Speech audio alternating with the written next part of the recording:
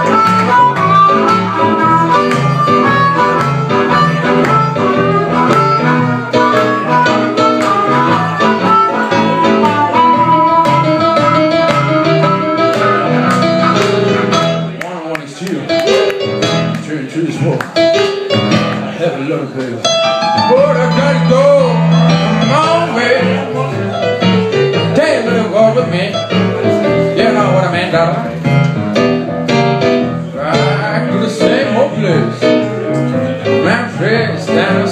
place